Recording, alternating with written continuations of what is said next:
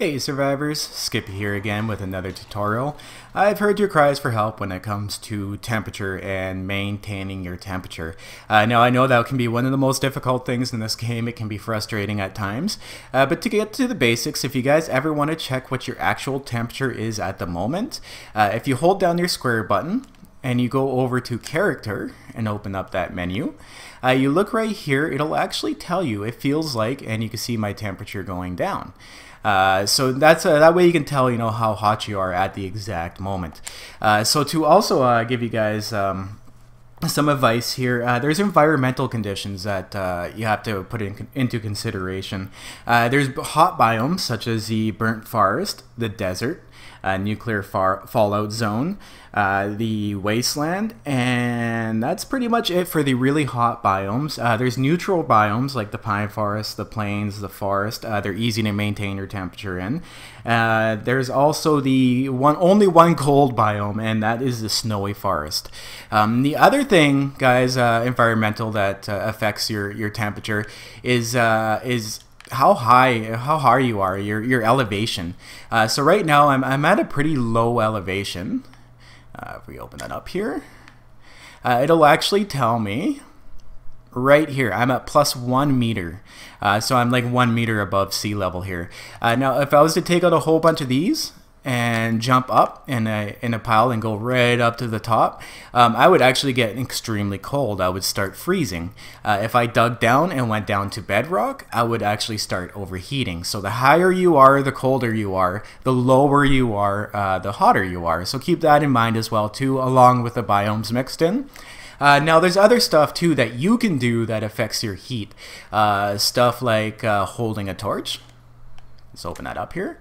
Holding a torch will uh, will heat you up uh, to a certain point. I'm already at 85, so I'm already over the point that the torch will heat you up. If you're freezing, you can hold a torch and actually keep yourself at a, uh, a comfortable temperature. Uh, stuff like turning on a forge or a campfire. You can see the warning down here. It says you feel warm by the fire. So let's uh, let's turn these guys on and look at our menu here again.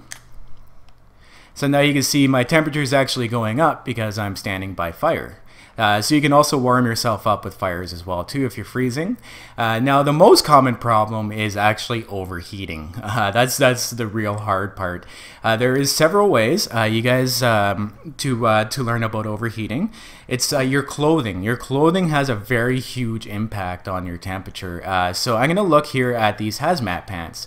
If you look up here at the stats, it says insulation plus 10 degrees. So that means if I put this on, that, that's going to keep my temperature up. Uh, that applies for stuff like the, uh, the military vest. Oops, if I could press the right button. Uh, that one has a plus 6. Scrap gloves, plus 3. Animal hide gloves, plus 7 plant fiber plus 2. So pretty much any clothing will increase your temperature. Uh, you got your uh, cloth head armor plus 3, uh, your fines like your red shirt which adds plus 10, and then you got something crazy like your puffer coat which will add actually plus 30 degrees uh, Fahrenheit is really good in the snow biome. Uh, a skull cap will increase it by 15, and even your uh, mining helmet gives you plus 1 as well too. So keep that in mind. now if you guys have to cool down, uh, there's a lot of good clothing like uh, your iron clothing uh, that gives you minus insulation, so it actually makes you cold. Uh, same with like stuff like the helmet, it gives you minus. Uh, your bandana will give you minus insulation. Uh, this sucker, I have never ever, ever found one of these in survival, and I didn't actually even know they existed until I was going through the creative menu. Uh, but apparently, if you uh, smoke a cigar, it gives you uh, minus six insulation for uh, three seconds. So that's that's kind of cool. Um, I'm gonna check that one out later. Here, uh, I've never seen that before. Uh, your cowboy hat will give you insulation. It keeps it keeps you nice and in the shade. That's where it says looks cool and keeps you cool in hotter environments. sunglasses will also keep you cool as well too, and a baseball cap. Uh, so those are all clothing you can put on uh, to uh, to keep cool. A full iron set will actually make you freeze almost. Uh, now there's other stuff as well too. There's food and, and food products and and uh, drinks that you can have that will uh, that will help you out. So if we go down to my toolbar here, my tool belt. Uh, we're going to look at the best one here. This one is super cheap. It's yucca juice. A yucca juice is actually really good to make um, if you're in the desert uh, and you don't have bottles of water because all it takes to make a yucca juice is four yucca plant and uh, one glass jar. You actually don't even need water to make one of these drinks. Uh, they give you 30 stamina, 15 hydration, and even wellness. So uh, if you guys are ever in the desert, hit up those yucca plants. If you don't know what a yucca plant looks like, this is a yucca plant. You'll find those in the, des- in the desert. Uh, the other stuff you can do too is obviously drink yourself some water, but there's also red tea. Let's open this up here. So if you look at the red tea, it gives you 40 stamina, which is actually better than the yucca juice. Uh, gives you 20 hydration and plus 2 wellness. So it's actually better for you to drink uh, red tea. It also helps you too if you, if you have the uh, the shits, uh, dysentery from drinking water that you shouldn't have drank. Uh, so that'll also cure that as well. Uh, now to make the red tea though, it's a little bit more complicated. Uh, you have to have a cooking pot in your fireplace. It takes a bottle of water and one of these red mum plants. Uh, so uh, you can use one of these and a bottle of water. Uh, but I recommend making the yucca plants. They're just incredibly cheaper. You don't need a fireplace. Um, I can actually make one right now if I wanted to. Do I have an empty jar? I do. So if I pick that up, I go over to yucca plants, uh, click on it, and then use my right arrow to go to recipes.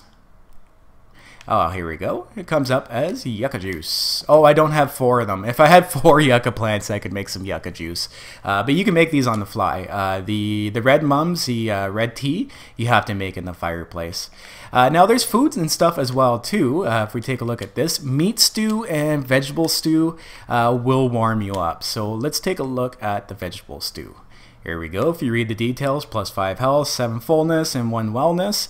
Uh, nice hot stew. And the description says, uh, always eat your vegetables. uh, but they'll warm you up. So I'm going to show you guys, because um, you're, you're, probably like, well, how do I know if I'm cooling down or I'm warming up?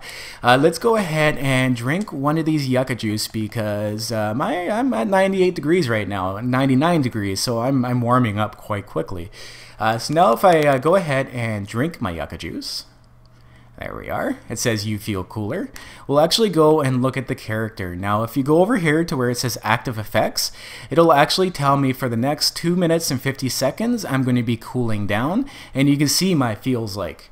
So uh, a great way to just battle your heat overall is just go make a crap load of yucca juice and carry it around easiest thing. Uh, if you're in a snow biome and you're cold, you can do stuff like the vegetable stew and the warm clothing. It's actually that simple, guys. I know it's a little bit confusing at first, but I really hope this tutorial helped you out. Uh, if you guys have any further questions, let me know down in the comments. I'll do my best to answer them all. Uh, if you have any more hints that maybe I have may, may have missed, I'm not a perfect person, let us know down in the comments as well. And uh, once again, guys, I want to thank you for your likes, comments, subscribes, and shares, and I will see you in the next video. Keep it classy, keep surviving, and peace.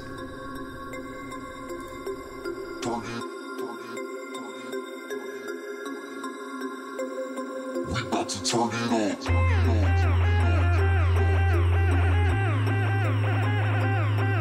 Turn it. We about to turn it on.